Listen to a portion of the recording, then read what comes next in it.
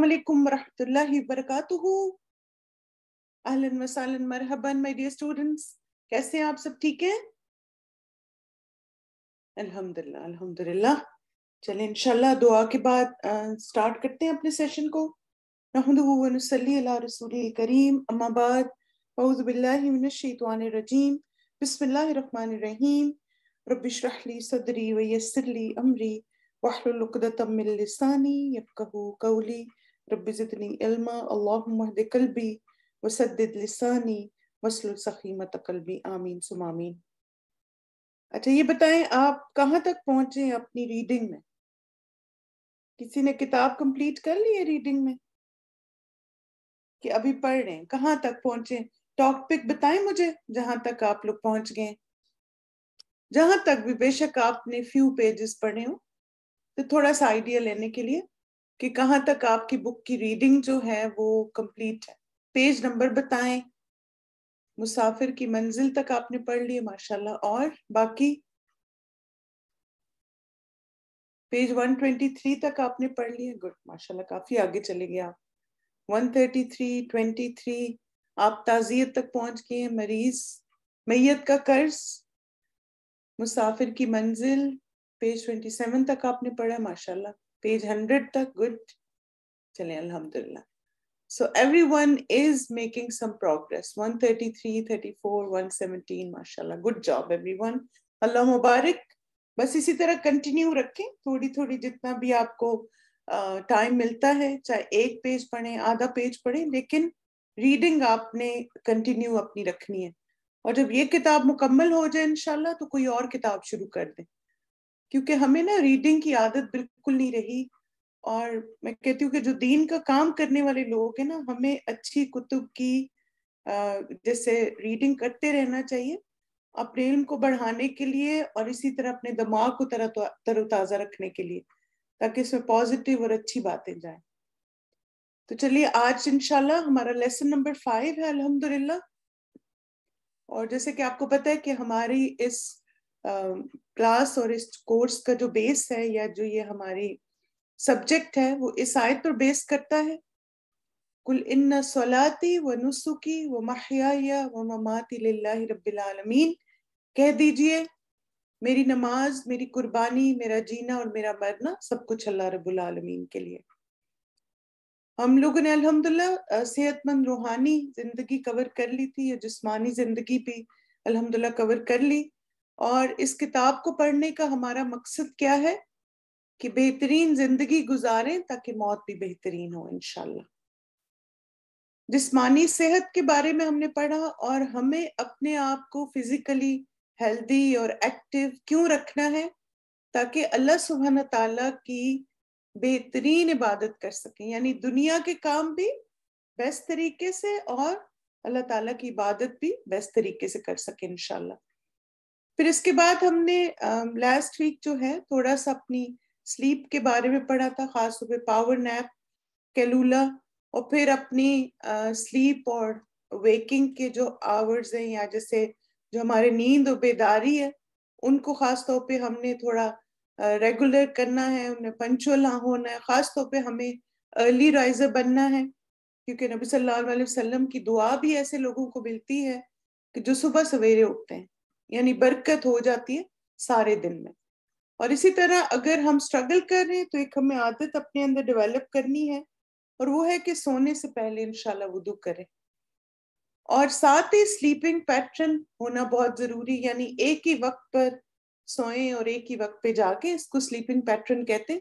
और ये healthy life के लिए बहुत एक क्रूशल फैक्टर है, बहुत इंपॉर्टेंट है कि हमारा एक स्लीप पैटर्न हो। क्योंकि आप देखें कि आपकी ना जिससे आपके अंदर जो फ्रेशनेस होती है, आपके अंदर एक जो जिसको कहते हैं कि ताजगी तरो ताजगी होती है, वो आपकी नींद की वजह से होती है। जब आपकी सारे ऑर्गन्स रिलैक्स हो जाते हैं रात को, यानी कुछ घंटों की नींद से, गहरी नींद से तो उससे आप सुबह बेहतर परफॉर्म करते हैं। और अगर आप कभी नौ बजे सो जाते हैं, कभी आप दस बजे सो जाते हैं, कभी आप ग्यारह सोते हैं, कभी बारह, कभी दो कोई एक पैटर्न नहीं है तो उससे एक तो आपका माइंड रिलैक्स नहीं होता और दूसरा आपके ऑर्गन उस तरह फ्रेश नहीं होंगे जैसे एक पैटर्न के साथ होते हैं। तो एक वक्त मुकर करें अपनी जैसे आप देखिए नमाजों के औकात के साथ औकात को मुकर करें तो बहुत ही ज़बरदस्त है। जैसे मसलन ज़ाहिर है, सर्दियों में थोड़ी सी आपकी इशा जल्दी हो जाती है तो आप जरा अर्ली टाइम रख लें। गर्मियों में ईशा जरा देर से होती तो टेन थर्टी, इलेवन, एक वो टाइम फिक्स करें और फिर उसके बाद आप उसी को फॉलो करें एवरी डे बिल्कुल एग्जैक्टली बाद वीकेंड पे भी आप देखें ज़्यादा ओवर स्लीप करें तो आपने देखा होगा सारा दिन लेजीनेस होती है। Exactly exactly. क्योंकि हमारी बॉडी में भी एक नेचुरल रिदम होता है। तो उसको अल्लाह ताला ने बनाया और इसीलिए आप देखें कुरान में भी कहा गया ना कि अल्लाह ताला ने रात को नींद के लिए बनाया और दिन को माश के लिए बनाया। तो जो इंसान इसको फॉलो करता है वो बेहतर जैसे अपनी ज़िंदगी गुजारता है। फिर इसी तरह सोने से पहले सुन्नतों पर, सोने की जो सुन्नतें उन पर अमल करना। और फिर खास तौर पर ये रिमाइंडर अपने लिए कि अपना एक सेल्फ एनालिसिस एवरी नाइट सोने से पहले कि पूरा दिन मैंने कैसे गुजारा। और फिर जो काम अधूरे रह गए, उन अल्लाह से दुआ करना कि वो मुकम्मल हो जाए। और जो काम जैसे नियत की थी नहीं कर सके, वो दुआ मांगे, अल्लाह तौफीक दे। और फिर जो कमी कोताही हुई कामों में या हकूक में, अल्लाह ताला से माफ़ी मांगे, तोफीक मांगे कि अल्लाह ताला बेहतर करने की तोफीक दे इनशाला तो आज हम जिस्मानी सेहत के हवाले से ही अगला हमारा लेसन है, इलाज मालजा का, यानी अपने आप को आप कैसे क्योर करें और उसमें आप देखें कि सबसे पहली चीज़ है परहेज, यानी जिसको आप कहते हैं प्रिकॉशन और इसको आप अंडरलाइन कीजिए, किताब में परहेज इलाज से बेहतर है। और फिर उसके बाद मुख्तलिफ़ हेडिंग्स हैं तो बस इनमें एक एक जुमला जो आपको इम्पोर्टेंट लगे ना, उसको अंडरलाइन करते जाए। तो पेज नंबर 19 है आपकी बुक में। अब देखिए कि ये अब जुमला हम सब के लिए अंडरस्टैंड करना बड़ा आसान है। Prevention is better than cure और पिछले तीन सालों में हमने इस चीज़ को बहुत एक्सपीरियंस किया कोविड के जो ईरा गुजरा एक। और उसमें हमने देखा कि जो लोग अननेसेसरी घरों से नहीं निकले अननेसेसरी सोशल गैदरिंग्स में नहीं गए और अननेसेसरी ट्रैवल नहीं किया तो अल्हम्दुलिल्लाह उन्होंने अपने आप को इस बीमारी से महफूज भी रखा। क्योंकि आप देखें कि अननेसेसरी मैं इसलिए बोल रही हूँ क्योंकि बाज दफ़ा कुछ जगहों पर जाना ज़रूरी होता है। मसन जॉब वगैरह आपकी बाज दफ़ा कुछ ट्रैवल आपके लिए ज़रूरी होती है। बाज दफ़ा कुछ मुलाकातें आपके लिए ज़रूरी होती हैं।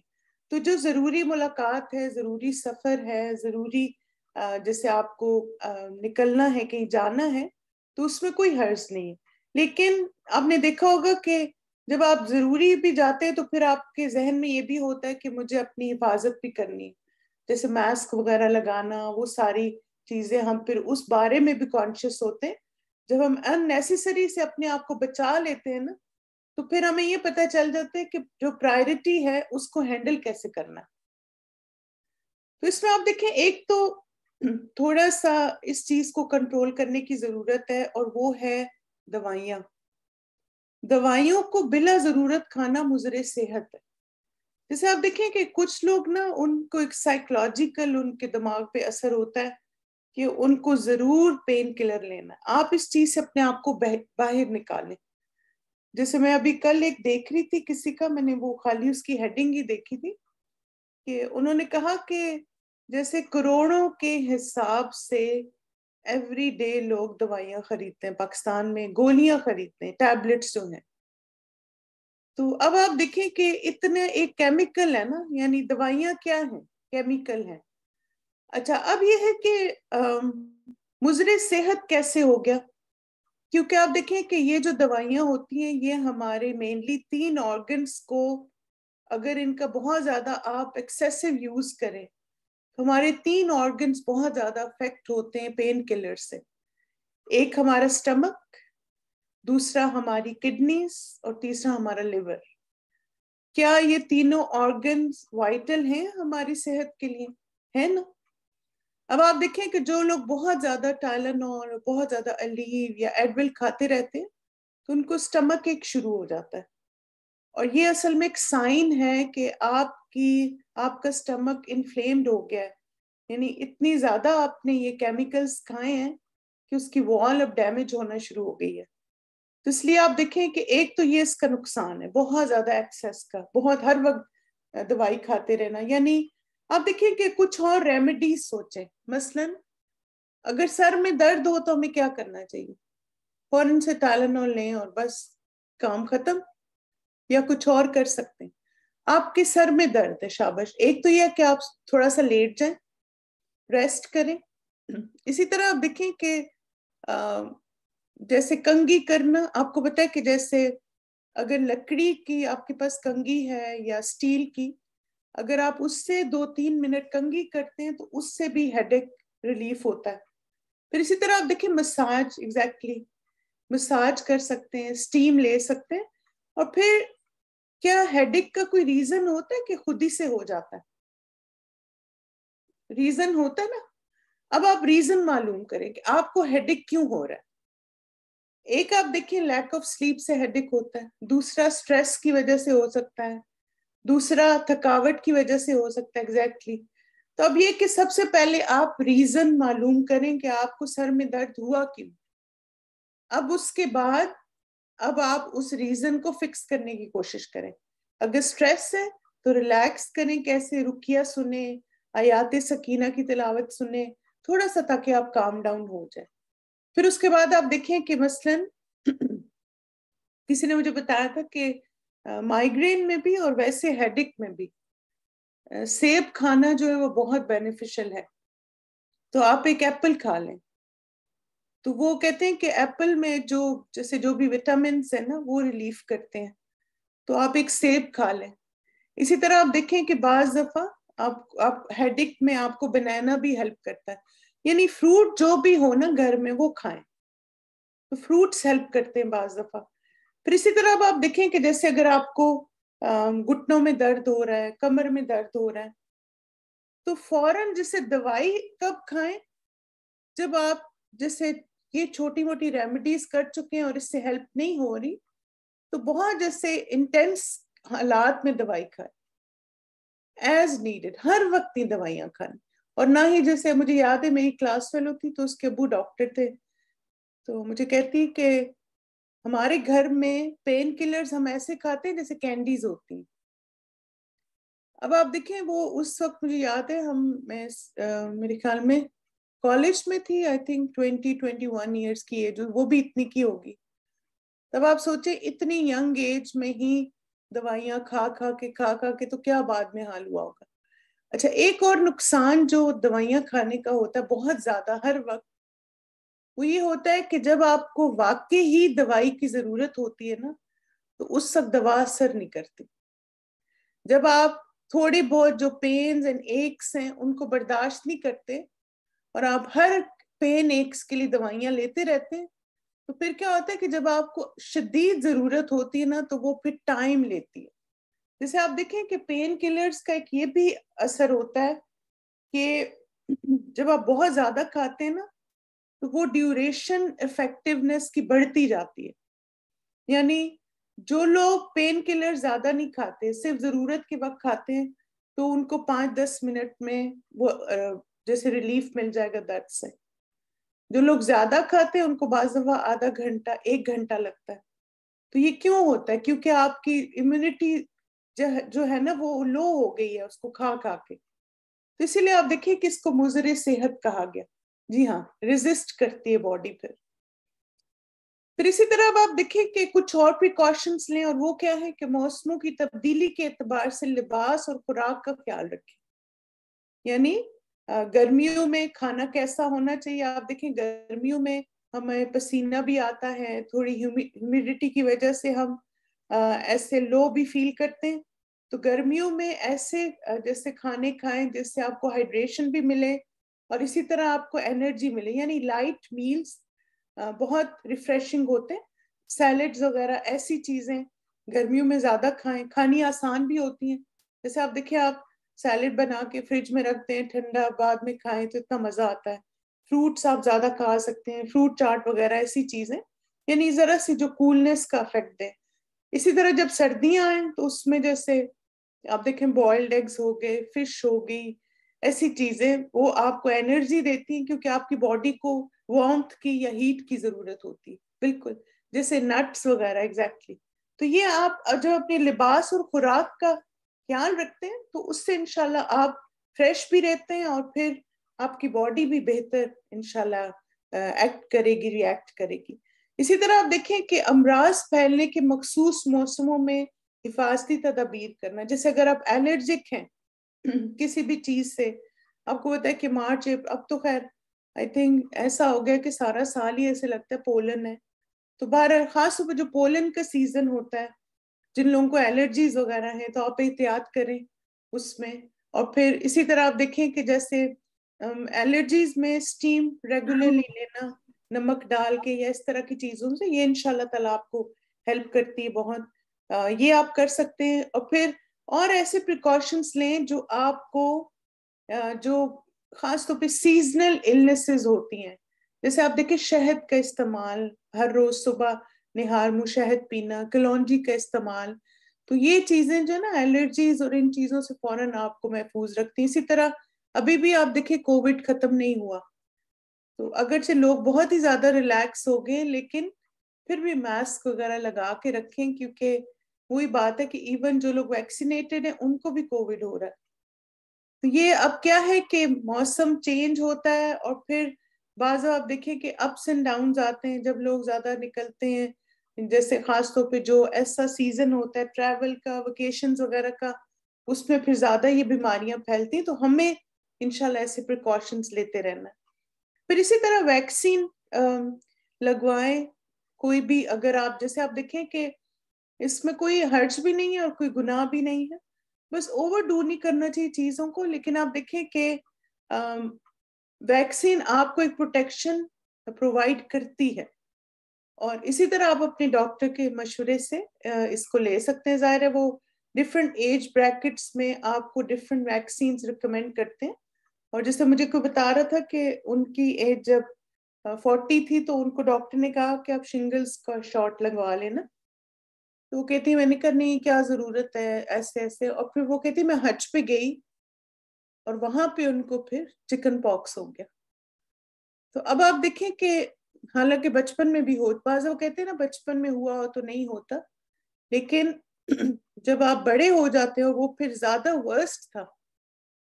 तो फिर आप देखिए, बाज दफ़ा डॉक्टर अगर कोई चीज़ रिकमेंड करते हैं तो आप उसको ज़रूर कंसिडर किया करें और फिर थोड़ा सा खुद भी सर्च कर लें कि क्या वाकई आपको ज़रूरत है या नहीं और फिर ऐसी वैक्सीन को लगवाना, इसमें कोई हर्ष नहीं है।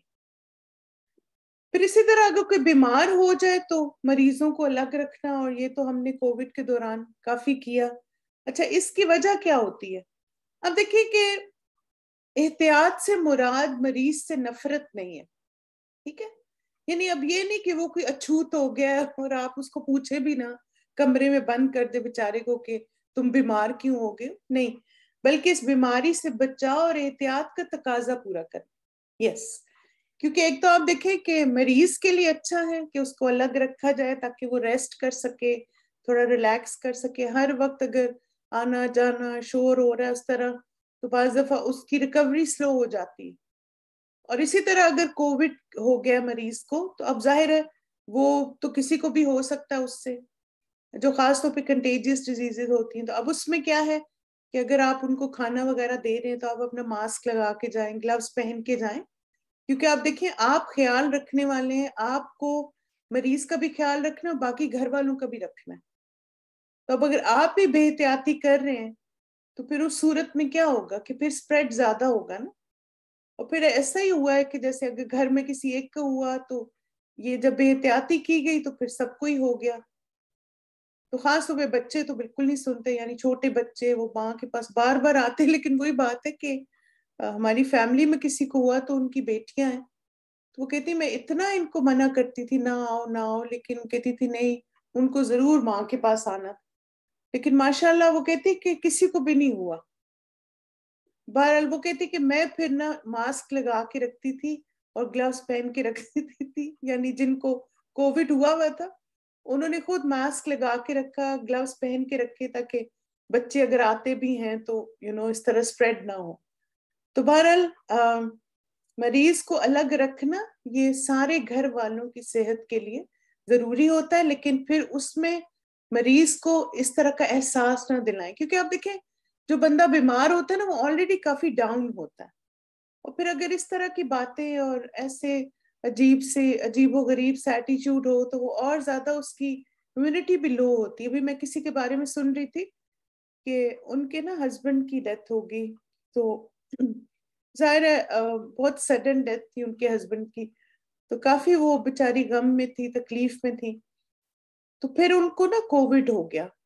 और मसलन इतना सवेयर नहीं था कोविड मगर शी पास्ट अवे तो उसमें ना फिर उनके घर वाले ये कहते हैं कि, मसलन हमें डॉक्टर्स ने ये बात भी बताई कि बाज दफ़ा इमोशनली अगर एक इंसान वीक होता है ना तो फिर उससे भी उसकी इम्यूनिटी लो हो जाती है। और उसका हीलिंग प्रोसेस भी स्लो हो जाता है। तो इसीलिए आप देखें कि मरीज़ का ख्याल रखना पॉजिटिव बातें करना और उससे मोहब्बत का इजहार करना, उसको बूस्ट करना, ये भी बड़ा ज़रूरी है क्योंकि जब एक इंसान की विल पावर होती है और वो इमोशनली मेंटली स्ट्रांग होता है तो चीज़ उसकी रिकवरी और हीलिंग में भी जैसे प्रोसेस करने उसको फास्ट हो जाता प्रोसेस पॉजिटिविटी एग्जैक्टली फिर इसके बाद आप देखिए कि एक बहुत ही खूबसूरत असूल हमें नबी सल्लल्लाहु अलैहि वसल्लम की अहदीस से भी मिलता है। अगरचे ये ताउन के बारे में है लेकिन ये हर वबा के, के अप्लाई पर अप्लाई होता है। आप सल्लल्लाहु अलैहि वसल्लम ने फरमाया जब किसी इलाके में ताउन की वबा फैल जाए और तुम उसमें हो तो उससे ना निकलो। और अगर तुम इस इलाके में नहीं हो तो वहाँ ना जाओ। यानी अब आपको पता है कि एक जगह पर एक बीमारी फैली हुई है। तो अब आप देखें, अगर आप ऐसे एरिया में हैं जहाँ पर वो बीमारी है तो वहाँ से ना निकलें। क्यों? क्योंकि अभी आप देखें, जो कोविड ज़्यादा स्प्रेड हुआ, वो इसी वजह से हुआ ना। ट्रैवलर्स जो है ना, वो लेकर आए ना, एक जगह से दूसरी जगह। तो अब ये कि अगर लोग उस वक्त एहतियात करते और अपने घरों में रहते, अपने शहर में ही रहते, थोड़ा डिले कर लेते उसको तो इतना ज़्यादा स्प्रेड नहीं होता। लेकिन वही बात है कि लोगों ने फिर आप देखें कि बेहतियाती की, जिसकी वजह से यानी दुनिया का फिर कोई भी मुल्क ऐसा नहीं है जहाँ पे ये बीमारी नहीं पहुँची। वरना तो आज से पहले भी ऐसी बीमारियाँ आती रही है ना। यानी आप देखें बर्ड फ्लू भी आया था मैट काउ डिज़ीज़ भी आई थी। यानी ऐसी स्वाइन फ्लू भी आया था, आपको याद होगा, ये सारी आती रही हैं। लेकिन फिर ये था कि चूँकि इतना ज़्यादा लोग, लोगों ने ट्रैवल नहीं किया या थोड़ी एहतियात की शायद, लेकिन ये कि इसमें ये भी था कि ज़्यादा जो ट्रैवलर्स थे ना, उन्होंने फैलाई है बीमारी ज़्यादा। बहरहाल अल्लाह की तरफ़ से भी ऐसा होता है, लेकिन इंसान अपनी कैपेसिटी में जो कर सकता है वो करे ना। फिर इसी तरह आप देखें कि एक और बीमारी है जुजाम नबी सल्लल्लाहु अलैहि वसल्लम ने, जिसको आप लेप्रेसी कहते हैं, कोड जो होती है स्किन डिज़ीज़ होती है, आप सल्लल्लाहु अलैहि वसल्लम ने फरमाया, जुजामी से इस तरह भागो जैसे तुम शेर से बचने के लिए भागते क्योंकि आप देखिए कि जिस तरह कोविड बहुत एक फॉरन से जैसे लग जाता है ना, इसी तरह ये लेप्रेसी भी है कंटेजियस है एग्जैक्टली exactly. तो इसीलिए कहा गया कि इतना ज़्यादा तुम्हें एहतियात करनी यानी आप देखिए कि यहाँ से भागने का यानी इस मीनिंग में है कि आम बीमारियों से भी तुम एहतियात करते हो, लेकिन अगर किसी को लेप्रेसी है और तुम उसके पास जाओ या उसकी आदत या कुछ तो बहुत ज़्यादा तुमने एक्स्ट्रा एहतियात करनी और फिर इसी तरह ये कि ये भी आप सल्लल्लाहु अलैहि वसल्लम ने फरमाया कि जो जुजामी की तरफ़ ज़्यादा देर तक मत देखो। यानी आप देखें इसमें हिकमत मसलहत होगी मे बी वो इस तरह की डिज़ीज़ है कि बहुत ज़्यादा यानी पास खड़े रहने से या देखने से आ, उसका असर हो जाता होगा उस इंसान पे या वो जर्म्स को या उस आ, को कैच कर लेता होगा। तो बहरहाल इन दोनों अहदीस से हमें ये बात पता चलती है चूँकि ये बीमारी बहुत क्विक लग जाती है बहुत क्विकली स्प्रेड होती है तो इसलिए एक्सट्रीम एहतियात की ज़रूरत है। फिर इसी तरह आप देखें कि जहाँ पर हम बहुत सारी बीमारियों के बारे में पढ़ते हैं, वहीं पर अल्हम्दुलिल्लाह एक हमारे अंदर, हमारे दीन ने एक होप भी पैदा की और वो होप क्या है? कि अल्लाह ताला ने ऐसी कोई बीमारी नहीं उतारी जिसका इलाज ना उतारा हो। अल्हम्दुलिल्लाह अगर कोई बीमार हो जाता है तो इलाज मौजूद है। सबसे पहले तो आप देखें कि उस बीमारी को एक्सेप्ट करें। तकदीर आ, समझ के कि तकदीर में लिखा था ऐसा हो गया। अल्लाह से दुआ करें और फिर उसके बाद साथ साथ इलाज भी करें। और मगर जब इलाज करें तो क्या एहतियात करें कि रसूल सल्लल्लाहु अलैहि वसल्लम ने इलाज के लिए हराम चीज़ें इस्तेमाल करने से मना किया। यानी आप देखें कि मैं जब ये हदीस पढ़ रही थी ना तो मेरे दिमाग में एक चीज़ आ रही थी और वो था तकवा। यानी एक मुत्तकी इंसान जो है, वो इवन अपनी इलाज के बारे में भी कितना कॉन्शियस होता है। यानी आप आप सोचें कि जब हम सेहतमंद होते हैं तो हम किस चीज़ के बारे में कॉन्शियस होते हैं? कि हमारा खाना हलाल है, जहाँ से आया है वो हलाल हो यू नो कोई इसमें शक वाली बात ना हो। यानी हम हर खाने पीने के बारे में एहतियात करते हैं ना, जब हम सेहतमंद होते हैं। कि इसमें कोई हराम इंग्रेडिएंट ना हो। यानी इवन हम ड्रेसिंग्स लाते हैं या मुख्तलिफ़ चीज़ें तो उसमें भी चेक करते हैं। किसी में कोई लाड ना हो किसी में कोई यू you नो know, जैसे वो जेलेटन ना हो एनिमल जेलेटन इस तरह की चीज़ें। तो ये सारी एहतियातें हैं ना। तो इसी एग्जैक्टली exactly इसी तरह की एहतियात हमें अपनी मेडिकेशन के बारे में भी करनी है। और हमेशा अल्हम्दुलिल्लाह आप देखें कि हम जिस कंट्री में रहते हैं वेस्टर्न कंट्रीज़ में खास तौर पे यहाँ पर आप आ, आप कोई भी मेडिसिन लेते हैं ना तो उसके बाद वो फार्मिस्ट आके आपको बताता है इसमें क्या क्या है। तो उस वक्त आप उससे बिल्कुल पूछ सकते हैं कि मसलन इसमें कोई ऐसा इंग्रेडिएंट के एनिमल वो तो नहीं यूज़ हुआ हुआ ऐसी ऐसी चीज़ें। तो आपको बता देते मुझे याद है कि एक दफ़ा हम फ्लू शॉट लगवाना था तो उसने ना हमें बताया कि एग बेस्ड है और एक पता नहीं कौन सा बेस्ड है। तो आपने कौन सा लगवाना है? यानी फ्लू शॉट्स में भी इतनी वैरायटी है। तो बहरहाल, इसी तरह आप देखें कोविड आया तो उसमें लोगों ने कहा, पता नहीं इसमें क्या है क्या है। लेकिन वो सारी उसकी केमिकल जो डिवीज़न थी, वो वेबसाइट्स पे अवेलेबल है और उसमें कोई भी हराम इंग्रेडिएंट नहीं है। तो बज दफ़ा लोग कुछ चीज़ों के बारे में बहुत ज़्यादा वो भी करते हैं। जिसको आप कहते हैं ना कि प्रोपोगेंडा भी होता है तो आप खुद भी सर्च करके चेक कर सकते हैं। इसी तरह आप देखें कि जैसे एग्जैक्टली exactly अल्कोहल वगैरह, जैसे खास तौर पे जो खांसी की दवाइयाँ होती कुडीन जो होती है जिनमें तो वो आप ज़रूर चेक कर लें कि उसका बेस और उसका एक्सट्रैक्ट क्या है। उन चीज़ों में जरा फिर एहतियात हमें इंशाल्लाह ताला करनी है। फिर इसमें इलाज मालजे में हम इनशाला ये भी देखते हैं कि हिकमत का एक ज़िक्र किया गया, यानी हिकमत आप देखें कि एक तो बातों में भी होती है और इसी तरह जैसे नेचुरल चीज़ों से और फ़ूड से इलाज करना तो उसके बारे में भी इनशाला ताला हम देख लेते हैं कि किन किन चीज़ों को हम अपनी डाइट में ऐड करके अपनी इम्यूनिटी बूस्ट कर सकते हैं इनशाला तो इलाज मालजे में मसनून इलाज जो आप सल्लल्लाहु अलैहि वसल्लम ने किया, या आप सल्लल्लाहु अलैहि वसल्लम से साबित है और वही इलाही पर मबनी है, जिसमें गलती का इम्कान नहीं ठीक है? यानी नबी सल्लल्लाहु अलैहि वसल्लम की सुन्नत से ये सारे इलाज साबित है। और हमने देखा होगा कि जब हम साहबा कराम की जिंदगियों के बारे में पढ़ते हैं तो हम देखते हैं कि यानी कभी को बहुत ज़्यादा मेजर इलनेसेस नहीं नज़र आती। इसमें आप देखिए, इसका मतलब है कि ये जो सारी चीज़ें उनकी डाइट में थी इसने उनको इतना फिजिकली स्ट्रांग रखा कि वो कभी बहुत ऐसी एक्यूट किस्म की या फेटल किस्म की इलनेस में मुबतला नहीं हुए। तो सबसे पहली चीज़ है शहद का इस्तेमाल, और ये अल्लाह सुबहाना ताला ने कुरान मजीद में भी इसके बारे में फरमाया शराब मुख्तलिफ़ अलवानुहु फीहि शिफा और अल्लाह ताला ने क्या फरमाया कि इस मक्खी के अंदर से रंग बरंग का एक शरबत निकलता है जिसमें शिफा है लोगों के लिए। यानी कुरान में अल्लाह ताला ने शहद में शिफा का हुक्म दिया। तो इसको आप देखें, ज़रूर हमें अपनी डाइट में शामिल करना चाहिए और इसी तरह शुगर का भी बेहतरीन रिप्लेसमेंट है शहद। तो आप अपनी चाय में जैसे चीनी की जगह शहद डाल लें। इसी तरह सुबह निहार मुँह शहद पीना यानी ल्यूक वॉर्म वाटर में आपको आपको पता है, पेट के लिए बहुत अच्छा है, आपकी स्टमक की लाइनिंग को स्ट्रॉन्ग करता है, आपकी किडनीज के लिए अच्छा है लिवर के लिए।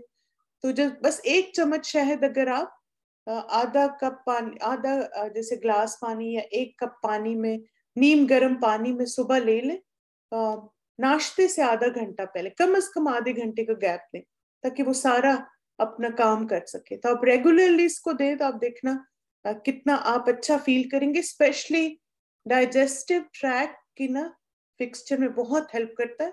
जो लोग रेगुलरली लेते हैं, जब अगर आपको हार्ट बर्न का प्रॉब्लम है, चूँकि मेरी फैमिली में किसी ने ये नुस्खा ट्राई किया था तो आप आप इसको ज़रूर ट्राई करें। उनको ना जैसे बहुत ज़्यादा एसिडिटी थी और ऐसे के जैसे वो, ऐसी नहीं एसिडिटी होती कि हर खाने के साथ आपको दवाई लेनी होती। तो उनको ना, उन्होंने हमें किसी ने बताया कि आप ना वो एप्पल साइडर लें हनी के साथ। तो वो ना उन्होंने माशाल्लाह जैसे सुबह निहार मुँह, इसी तरह एक एक कप पानी में जैसे एक चम्मच शहद छोटी और एक चम्मच एप्पल साइडर जो ऑर्गेनिक होता। है वो लेना शुरू किया और माशाल्लाह विद इन अ वीक उनकी सारी हार्ट बर्न वाली जो है वो दवाइयाँ छूट गई। और फिर उसमें जिन्होंने हमें बताया था, उन्होंने कहा कि अगर तो मसलन ज़्यादा आपको फिर भी फील होता है तो खाने से पहले भी एक चम्मच ले लें एप्पल साइडर चूँकि एप्पल साइडर थोड़ा सा तुर्श होता है तो आप साथ उसकी शहद मिक्स कर सकते हैं। तो अगर आपको बहुत ज़्यादा हार्ट बर्न होता है तो खाने से दस मिनट पहले भी ले लें, वरना अगर आप सुबह लेते हैं तो इनशाला ये रिपेयर करेगा आपकी जो स्टमक की वॉल है ठीक है? तो ये भी बहुत हेल्पफुल है। इसके साथ शहद और सिरका दोनों का कॉम्बिनेशन और सिर्फ़ शहद भी। फिर इसी तरह नबी सल्लल्लाहु अलैहि वसल्लम ने फरमाया कि तीन चीज़ों में शिफा है। शहद पीने में बचने लगाने में आग से दाग लगाने में आप सल्लल्लाहु अलैहि वसल्लम ने आग से दाग लगाने से मना फरमाया। अच्छा ये ना मुझे आ, पहले पता नहीं था कि आग से दाग लगाना क्या है ना? तो आपको पता है कि अभी भी इसको कहते हैं फायर ट्रीटमेंट अभी भी कुछ जगहों पर, यानी मुख्तु बीमारियों के इलाज के लिए आग से जैसे इलाज किया जाता है। यानी बहुत ज़्यादा हीट करके किसी चीज़ को फिर लगाया जाता है वो एरिया बर्न किया जाता है एग्जैक्टली जिसको कोटेराइज कहते हैं। तो उससे आप सल्लल्लाहु अलैहि वसल्लम ने मना फरमाया। हाँ ये कि अगर कोई बहुत एक्सट्रीम किस्म की ऐसी बीमारी है जो, जैसे कोई और इलाज ही नहीं है तो फिर उस सूरत में वो ये आप देखें कि जान बचाने के लिए फिर उस हालत में आप इसको इस्तेमाल कर सकते हैं, लेकिन ये कि वैसे हर वक्त इन चीज़ों को इस्तेमाल करना अवॉइड करें इस इलाज को खास तौर पे। फिर इसी तरह आप सल्लल्लाहु अलैहि वसल्लम ने एक और जो चीज़ हमें बताई, जो हमें अपनी डाइट में इनशाला ऐड करनी है, और मुझे आई होप कि आप सब इसको यूज़ करते होंगे और वो है खजूर। वैसे भी डेट आप एक खा लें या आप अजवा खजूर अगर खाएँ तो आप सल्लल्लाहु अलैहि वसल्लम ने फरमाया, जो सुबह के वक्त सात अजवा खजूरें खा ले तो उस दिन उसको कोई जहर और जादू नुकसान नहीं पहुँचा सकता। ठीक है, कोई भी खजूर खा लें और अगर अजवा हो तो।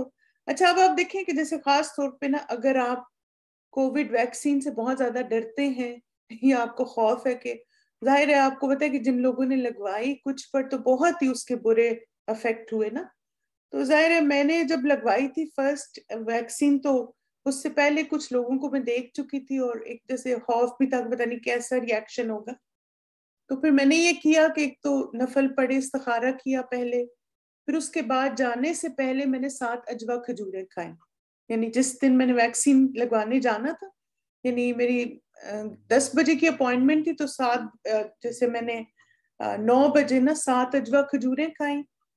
और फिर जाते हुए फिर मैं मुसलसल वो दुआ मांगती रही बिस्मिल्लाह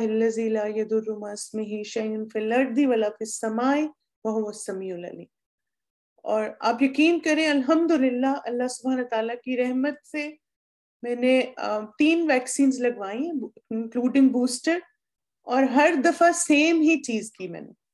सात अजवा खजूरे में खा के गई और अल्हम्दुलिल्लाह किसी भी वैक्सीन का मुझे पता नहीं चला।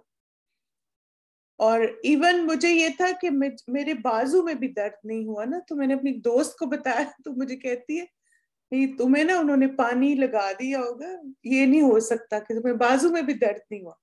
मैंने उसे कहा कि नहीं, मैंने एक तो नफल पढ़े, अल्लाह से भी दुआ मांगी, फिर उसके बाद अजवा खजूर खाई और उसमें जहर और जादू असर नहीं करता ना। अब आप देखें, वो ही होता है ना कि हो सकता है कि वो उसका नेगेटिव असर जो है, वो अजवा ने खत्म कर दिया ना। अल्लाह ताला ने इसमें इतनी तासीर रखी है। तो जब भी आपको इस तरह का कोई खौफ हो ना कि पता नहीं मसन वहाँ जा रहे हैं, ऐसा ना हो जाए, वैसा ना हो जाए, पता नहीं, जैसे बाजब होते हैं, कुछ लोगों को, कुछ रिश्तेदारों के बारे में यू नो एक शक होता है कि वो कुछ खाने में घोल के ना पिला दें या ऐसा होता है ना, अल्लाह ताला सबको हिदायत दे। तब भी ऐसे खानों पे जाने से पहले भी आप साथ सात अजवा खजूरें खा जाए। तो अल्लाह ताला आपको हर तरह के शर से, हर तरह के जादू से महफूज रखेंगे। अल्लाह ने इन खजूरों में ये तासीर रखी है। फिर इसी तरह आप देखें कि जौ या बाड़ले ओट्स वगैरह, ये सब आप इस्तेमाल कर सकते हैं। क्योंकि नबी सल्लल्लाहु अलैहि वसल्लम जौ को दलिया, सालन सत्तू और रोटी की शक्ल में इस्तेमाल करते थे। यानी आप सल्लल्लाहु अलैहि वसल्लम ने हर तरह से इसको इस्तेमाल किया, चाहे वो दलिए के फॉर्म में था, चाहे वो सत्तू यानी ड्रिंक के तौर पे, सालन, यानी आप देखें कि ग्रेवी या सूप के तौर पे और रोटी, यानी ब्रेड के तौर पे। तो हमें भी कोशिश करनी चाहिए कि जिस भी फॉर्म में हम इसको यूज़ कर सकें, बार्ले और ओट्स क्योंकि ये भी आप देखें कि जैसे अब मेरे भाई को कोविड हुआ तो वो कह रहा था कि उसको बहुत ज़्यादा हेल्प की थी काले चने और ओट्स ने रिकवरी में। क्योंकि जब कोविड होता है ना तो उस वक्त तो चले आप जरा डाउन होते हैं लेकिन बाद में बहुत ज़्यादा वीकनेस होती।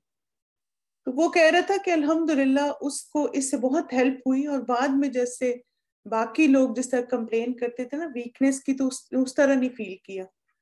तो आप भी जैसे अगर किसी को हो तो उनको रिकमेंड कर सकते हैं। तो काले चने शोरबे वाले और साथ ये जौ का इस्तेमाल। बिल्कुल, जिंक इसमें ज़्यादा एग्जैक्टली जिंक आप देखें इम्यूनिटी वो भी बूस्ट करता है। फिर इसी तरह तलबीना भी बनाया जाता है जौ से। ये हलवे की तरह का होता है। जैसे एक लिक्विड आप कह सकते हैं हलवा सा होता है ये।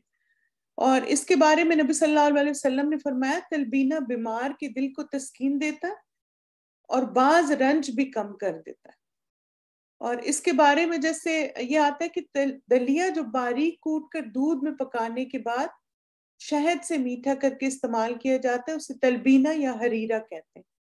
ठीक है? यानी आप देखें कि ये जरा आप बिल्कुल, हम तो चूँकि हलवा, अल्हम्दुलिल्लाह, हम सब जानते हैं ना तो हलवे की तरह की शक्ल होती है इसकी। लेकिन हलवे से थोड़ा सा आप कह सकते हैं कि थिन होता है ये, कि इसको ना पिया भी जा सकता है जल्दी जल्दी। पतला सा हलवा नहीं बनाते बीमारों के लिए, बिल्कुल। अब तो खैर रेडीमेड भी अवेलेबल होता है तो आप वैसे भी तलबीना ले सकते हैं। एग्जैक्टली राइस पुडिंग की तरह। मगर ये ओट्स में से होता है। और आयशा रहा की ये रवायत भी आती है सही बुखारी में कि जब उनके खानदान में कोई सोग होता था तो खातन ताजियत के लिए वहाँ जमा होती थी। खानदान के अफराद और चंद मुंतखब अफराद के अलावा रुखसत हो जाते हैं, यानी बाकी सब चले जाते उन्होंने तलबीना को छोटी देगची में तैयार करने को कहा, फिर उसे पकाया गया, फिर शरीर तैयार की गई और उसे तलबीने पर डाल दिया गया। यानी दोनों चीज़ें इकट्ठी कर दी गई।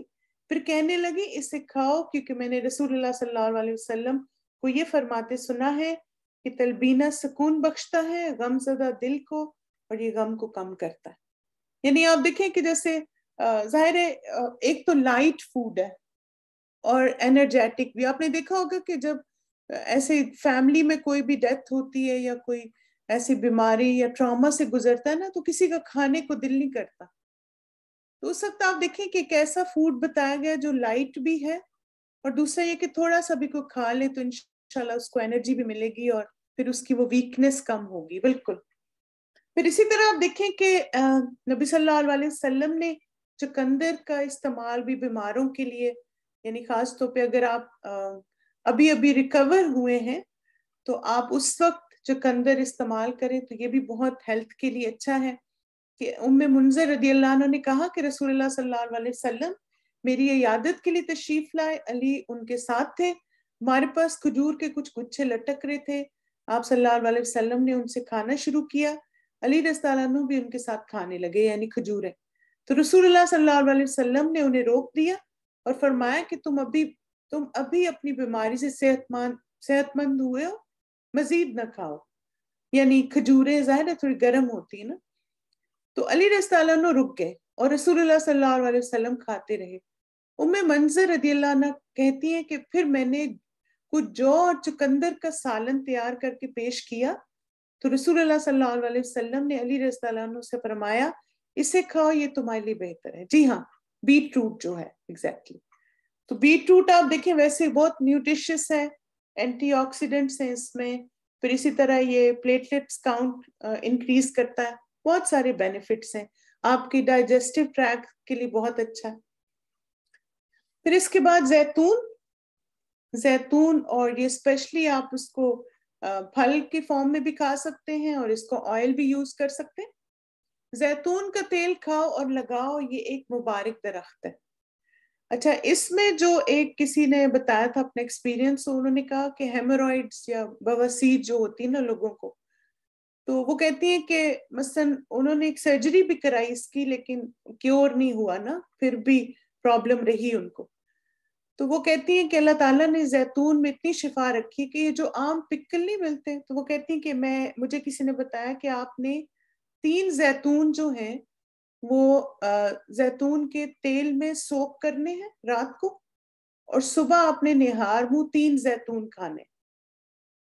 और वो कहते हैं कि अल्हम्दुलिल्लाह मैं जब से ये खा रही हूँ मेरी वो पाइल्स की जो प्रॉब्लम है आ, वो खत्म हो गई है। तो अल्हम्दुलिल्लाह आप देखें कि एक तो जैतून इसमें हेल्प करता है, किसी को पाइल्स की या बवासीर की प्रॉब्लम है तो वो तीन जैतून जो है, उनको सोख कर दें ऑयल में और सुबह निहार मुँह, बस वो तीन खा लें फिर उसमें तीन और डाल दें, इस तरह से करते रहे।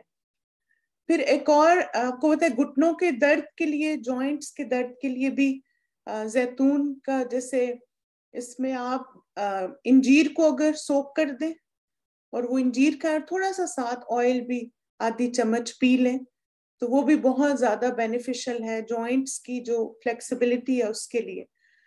थोड़ा सा ये ऑयल ना पीना मुश्किल होता है तो मैं जब जैसे आधी चम्मच पी लूँ तो मैं ऊपर से एलमंड एक दो खा लेती हूँ, ताकि वो मुश्किल जैसे जरा सा गले को लगता है जाके ना। तो साथ ही आप एलमंड्स खा लें तो वो आपको इनशाला स्वालो करने में हेल्प करेंगे। जी हाँ सैलेड में आप डाल सकते हैं एग्जैक्टली exactly. तो जैतून ना पकाने में, पकाने से ज़्यादा अगर आप इसको एज रॉ फॉर्म में यूज़ करें ना, जैसे आप देखें कि अगर आपने देखा हो कि ये मेडिटेरियन फ़ूड जो होता है, उसमें लोग रोटी के साथ भी जैतून को लगा के खाते हैं। यानी ऑयल को एज अ सालन भी यूज़ करते हैं। तो इस तरह भी आप यूज़ कर सकते हैं, ठीक है? क्योंकि नबी सल्लल्लाहु अलैहि वसल्लम ने फरमाया कि जैतून का तेल खाओ और लगाओ, ये एक मुबारक दरख्त है। फिर इसी तरह देखिए कलौजी ये भी हमने इनशाला ताला और फ्यू इसके बस काफ़ी होते हैं दाने, यानी एक चुटकी बस। और फिर इसी तरह एक स्टूडेंट एक दफ़ा शेयर कर रही थी कि उन्होंने इसको ग्राइंड करके रखा हुआ है अपने डाइनिंग टेबल पे। और जब भी जैसे अंडा खा रहे हैं, कुछ भी खा रहे हैं थोड़ा सा स्प्रिंकल कर लेती हूँ। तो ये भी एक अच्छा तरीका है कि आप उसको ग्राइंड करके रख लें और जो भी नाश्ता या सैलेड या किसी भी चीज़ पे स्प्रिंकल करके उसको खा लें ताकि आप देखें कलौजी भी बहुत सारी अल्हम्दुलिल्लाह बीमारियों से बचाती है और खासतौर पर यह हदीस जो है कि नबी सल्लल्लाहु अलैहि वसल्लम ने फरमाया स्या दाने कलौजी में साम यानी मौत के अलावा हर बीमारी का इलाज माशाल्लाह। फिर इसके बाद जमजम का पानी, जमजम भूखे के लिए खाना और बीमार के लिए शिफा है। तो अब देखिए कि जैसे अब ज़ाहिर है ये बड़ा वो प्रेशियस पानी होता है, आसानी से अवेलेबल नहीं होता। तो अगर आपके पास थोड़ा सा भी है तो आप, आम जो आपका पानी है ना, उसमें कुछ ड्रॉप्स अगर डाल लें तो वो इनशाला उसमें सारा असर आ जाएगा इसका। तो यानी यूजुअली हमारे पास थोड़ा इसका स्टॉक होता है, लेकिन अल्हम्दुलिल्लाह हर मुसलमान के घर में जमजम ज़रूर होता है। तो ये कि जैसे ज़्यादा हम कब पी सकते हैं इसको? जब इंशाल्लाह हज उम्र करने जाए तो फिर ये भूखे के लिए खाना भी हो जाता है। वाकई ये इतना फुलिंग, फुल कर देता है आपको कि फिर खाने की आपको फ़ौरन ज़रूरत नहीं पड़ती। यानी एक आपको जो फुलनेस की फीलिंग आती है अल्हम्दुलिल्लाह इसी तरह बीमार के लिए शिफा है और ख़ास तौर पे जो इब्ने तैयम, इब्ने तैमिया हैं उनकी एक रवायत है कि वो कहते हैं कि उनको जब बुखार हुआ तो सूर्य फातिहा और जमजम बस वो पीते रहे और उससे अल्लाह ताला ने फिर उस बुखार से उनको शिफा दे दी। फिर इसी तरह अगर आप को बुखार हो तो पानी का ज़्यादा इस्तेमाल करें। और आप देखें कि वैसे डॉक्टर्स भी ये कहते हैं कि अपने आप को हाइड्रेटेड रखें। रसूलुल्लाह सल्लल्लाहु अलैहि वसल्लम ने फरमाया बुखार दोजक की भाप है, उसको पानी से ठंडा कर। तो अब आप देखें, ये तो आप सल्लल्लाहु अलैहि वसल्लम ने इतने सौ साल पहले बता दिए, और अब जैसे वो ठंडे पानी की पट्टियाँ रखना, वो सब चीज़ें की जाती है ना। फिर इसी तरह मेहंदी का इस्तेमाल जख्मों पे, खास तौर पे। रसूलुल्लाह सल्लल्लाहु अलैहि वसल्लम की आज़ाद करदा खादमा सलमा रदी ने कहा कि रसूलुल्लाह सल्लल्लाहु अलैहि वसल्लम को कोई जख्म या पत्थर या चोट वगैरह आती तो आप उस पर मेहंदी लगाते थे। यानी अगर ब्रूज भी पड़ जाए ना तो इसका जैसे पेस्ट बना के मेहंदी का वो लगाएँ तो वो बहुत हेल्प करता है। मुझे भी वैसे याद है कि मेरी नानी जो है, वो ये जैसे बॉयल्स नहीं निकल आते थे तो बच्चों को निकल आते ना तो वो उसके ऊपर मेहंदी लगा के पट्टी बाँध देती थी। तो वो जब उतारते थे तो वो बिल्कुल जैसे श्रिंक हो जाता था, दर्द भी खत्म हो जाता था तो मेहंदी भी बहुत बेनिफिशियल एक अर्ब है जो यूज़ कर सकते हैं। इसी तरह हिजामा या पचने नबी सल्लल्लाहु अलैहि वसल्लम ने फरमाया कि पचने में शिफा है। और फिर इसी तरह आप सल्लल्लाहु अलैहि वसल्लम ने इन सारी चीज़ों, यानी औकात में कपिंग या हिजामा करवाया, आधे सर के दर्द के लिए जो दर्द शकीका होता है। इसी तरह पूरे सर के दर्द, एहराम की हालत में भी आप सल्लल्लाहु अलैहि वसल्लम ने हिजामा कराया और रोज़े में भी करवाया। इसलिए आप देखें कि हिजामा भी एक तरह से डिटॉक्स करना होता है बॉडी को, और जहाँ पे खास तौर पे जो दर्द वाले एरियाज़ होते हैं, वहाँ से आपके टॉक्सिन्स निकल जाते हैं और फिर फ्रेश ब्लड आता है, और ऑक्सीजन लेके तो फिर वो जॉइंट्स या वो एरिया जल्दी हील होता है। फिर इसी तरह इन सारी चीज़ों के साथ साथ खास तौर पर पुरानी और मसनून दुआओं से दम करना अलैहि वसल्लम ने फरमाया ऐसे दम में कोई हर्ज नहीं जो शिरक से पाक हो। अब देखें इस इस हदीस में ना एक ये दलील मिलती है कि जैसे कुछ लोग कुरान मजीद की कुछ आयात या सूरतें दम करते हैं ना जैसे आप देखें सूर्य रहमान है या मसन कुछ लोग सूर्य अलम नशरा पढ़ते हैं कुछ लोग जो हैं वो आ, और कुछ जैसे रुकिया वाली आयात है मंजिल है ठीक है? या सूर्य यासीन पढ़ते हैं। तो अब ये है कि जैसे चूँकि ये सारे अल्लाह ताला का कलाम है और हम अल्लाह का ही कलाम पढ़ रहे हैं तो अगर जो डायरेक्ट ये सुन्नत से तो साबित नहीं है कि किसी बीमारी के लिए सुर रहमान या ऐसी चीज़ें पढ़े। लेकिन अगर आप इस नीयत से पढ़ते हैं कि अल्लाह का कलाम है तो फिर उसमें कोई हर्ज नहीं। और ये हदीस फिर इससे एक दलील भी हमें मिलती है कि ऐसा कोई भी कलाम जिसमें शिरक ना हो, उसको इलाज की नीयत से पढ़ा जा सकता है। और इसी तरह आप देखें कि ये एक रवायत और भी आती है कि अबू खुजामा कहते हैं कि मैंने रसूलुल्लाह सल्लल्लाहु अलैहि वसल्लम से अर्ज़ किया कि या रसूलुल्लाह सल्लल्लाहु अलैहि वसल्लम, आप सल्लल्लाहु अलैहि वसल्लम फरमाते कि हम दम कराते हैं और जिन चीज़ों के साथ हम अपना बचाव करते हैं, क्या ये अल्लाह की तकदीर रोक देती हैं? तो रसूलुल्लाह सल्लल्लाहु अलैहि वसल्लम ने फरमाया, ये असबाब खुद तकदीर में शामिल है। ये बहुत ही क्लैरिटी दे दी इस हदीस ने हमें कि जब हम किसी बीमारी का इलाज करते ना तो वो इलाज भी इसबाब में शामिल होता है।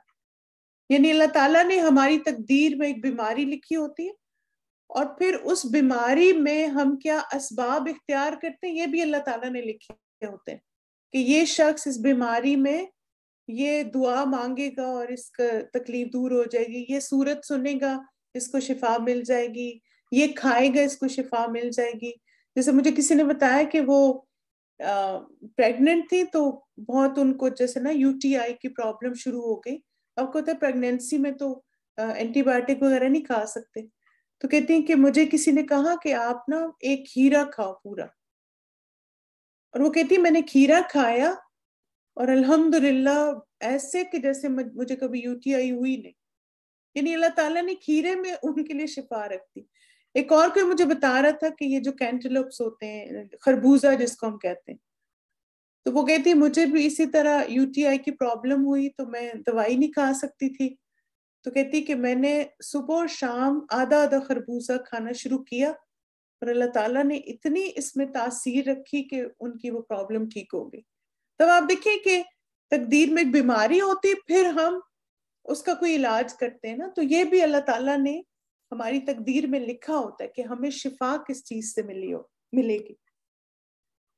फिर इसी तरह आप देखें कि बीमारियों में अगरचे मन्नत मांगना पसंद पसंदीदा नहीं है। जैसे कुछ लोग कहते हैं ना कि अगर मैं ठीक हो गया तो मैं उम्र करूँगा, या मेरा बच्चा ठीक हो गया तो हम ये करेंगे, वो करेंगे।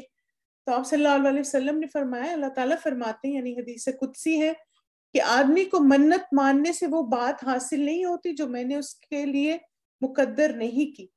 बल्कि मन्नत मानना भी उसकी तकदीर में इसलिए लिख जा लिया जाता है कि मैं ऐसा लिख कर बकील से पैसा निकलवा दू यानी वैसे तो वो अल्लाह के रास्ते में खर्च नहीं करता लेकिन मन्नत मान के फिर वो यू you नो know, कुछ ना कुछ अल्लाह के रास्ते में दे देता फिर इसके बाद आखिरी बात कि बहुत ही प्यारी दुआ है मसनू जो हम हर नमाज़ के बाद अल्हम्दुलिल्लाह मांगते हैं, और वो है अल्लाह